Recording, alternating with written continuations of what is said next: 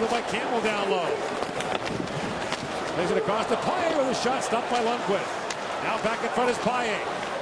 Plays it back to Shawn Thornton with a shot off the boards and wide. Knocked down by Paille. Feeds it back to Boychuk. Good pressure down by the Bruins. Boychuk scores! Johnny Boychuk fires it home and the game is tied.